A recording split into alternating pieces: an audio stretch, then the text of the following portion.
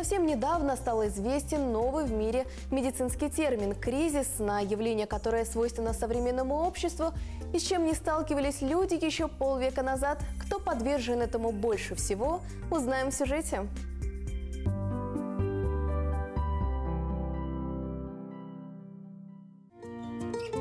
Последнее время люди все чаще урезают свой сон. В первую очередь это связано с появлением интернета и социальных сетей, вносят свой вклад во всеобщий недосып и так называемые социальные связи, то есть частые встречи с друзьями и работа допоздна. Специалисты университета штата Мичиган назвали это явление глобальным кризисом сна.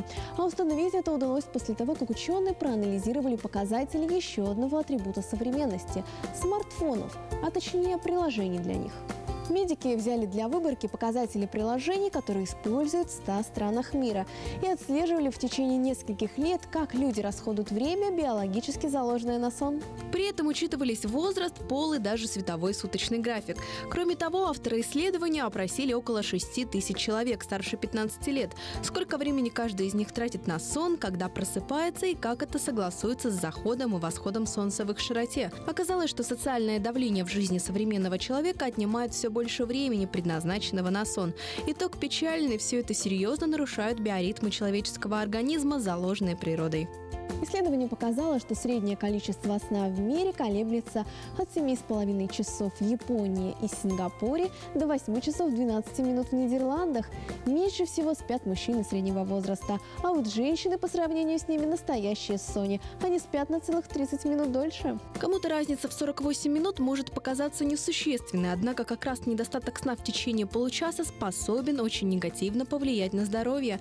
Доказано, что хронический недостаток сна повышает риск ожирения ожирения, диабета, гипертонии и сердечно-сосудистых заболеваний. Исследователи считают, что социальное давление способно ослабить и даже скрыть биологические потребности организма в вечернее время.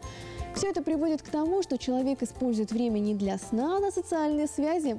В итоге люди ложатся спать поздно, а время, которое предназначено для сна, заметно сокращается. Мало того, ученые доказали, что прерванный сон даже хуже бессонницы. Он не только не позволяет отдохнуть, но и портит настроение.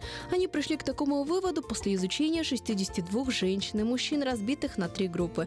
Участников первой будили в разгар сна и просыпались они в плохом настроении. После второй ночи настроение у них ухудшилось на 31%. Участникам второй группы разрешали ложиться поздно, их сон не прерывали. В итоге хорошее настроение снижалось после второй ночи на 12% и были зафиксированы более короткие периоды глубокого сна. Спать сколько угодно разрешали участникам третьей группы и просыпались они в нормальном настроении и полностью отдохнувшими. Кристина Смирнова, Сергей Мякишев, Тюменское время.